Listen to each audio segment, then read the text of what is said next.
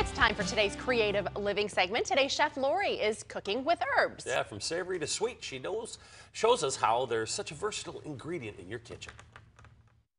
Hi, Chef Lori here. So I am talking about herbs again. I love herbs. Summertime, they're fresh, and we can do so many things with them. So first, I'm going to introduce you to three different herbs, okay? So we have rosemary, we have parsley, and we have thyme. I have all those growing in my garden. I love them all. There's different things they can do. I love rosemary with potatoes. Parsley can go in just about everything, and thyme is so good with mushroom anything. But what I'm going to do is I took these all and I chopped them up on my own here and I'm going to add them to some oil and I'm going to show you some things to do with all three of these. So we have about a half cup of oil and a tablespoon of each one of these. So that's my rosemary. Love it. Fresh. It's so good.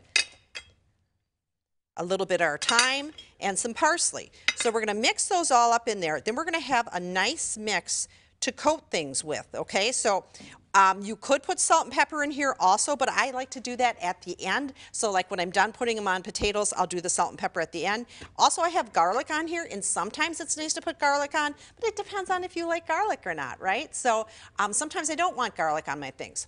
So the first thing I did is I made a little tray that will show us everything that you can do.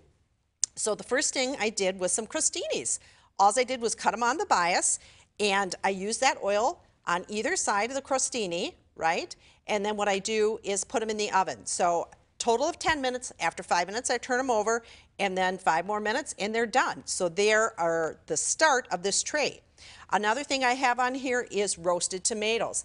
Uh, tomatoes are coming out at the farm market pretty soon. Then we'll have all sorts of them, and I love to roast them. They're wonderful that way. And again, I coat them with these herbs and put them in the oven and roast them, and they are delicious. I love them. That gives them a more depth of flavor.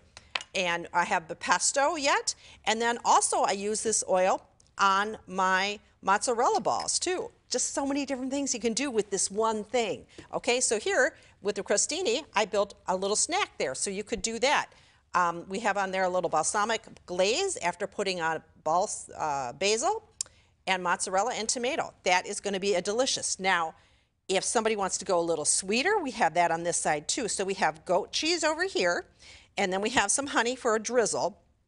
And um, I put some fresh mint that I put all over these because mint goes so well with fruit. So what I have here is our raspberries, or blueberries, or strawberries. And again, I use the crostini, with the goat cheese. I put that on there and um, make a little snack. And that's where, like, I wouldn't want garlic on my crostini, okay? So I just want it plain with the herbs, and it's so good. The last thing that I like to do with that is uh, do roasted potatoes. So I have here sweet potatoes that are both um, purple and the regular orange ones, and they are delicious. I love any roasted potatoes, but these are really good. So you go ahead, cut them up, put them, uh, some of this oil over it again. Like if you put them in a bowl and you toss it around, it'll turn out really good.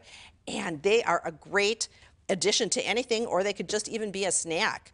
So those are the different things you can do with your one basic oil. Okay, so I hope you enjoy some herbs in summer and have the best day ever.